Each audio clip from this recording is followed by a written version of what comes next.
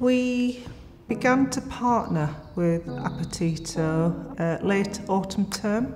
As a new head, um, I came in and did quite a lot of reviews around the school, and catering was one of the areas that we decided to look at. The initial meeting with Apetito uh, was one where we were able to sample meals, and again, I was quite taken aback with the quality of the meals. They were very tasty, very high quality. We, we just thought, yes, this is the service that we should go with.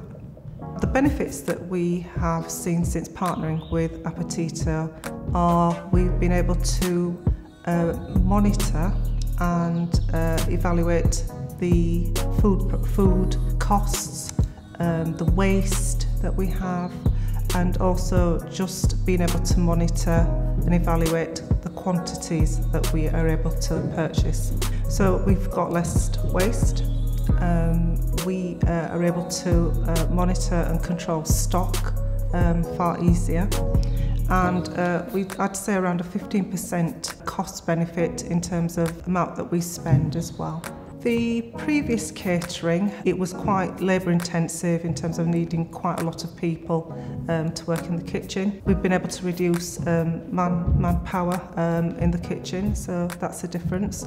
I would say that the food is much more tastier, um, much more uh, range that we're able to offer to the children as well. The cost saving has allowed us to invest elsewhere. We've been able to look at resources elsewhere that we can spend in the playground, um, looking at teaching and learning resources um, that we um, can review and say actually we've got some money that we can spend there. Um, even in the playground equipment that children have benefited so they've had new toys and games as well. So yes we've definitely seen um, being able to reinvest that saving elsewhere in the school. The support from Appetito has been phenomenal uh, in terms of uh, getting us up and running. Emails, when we email, we get a quick response. Um, telephone calls as well. If we call, again, a quick response back.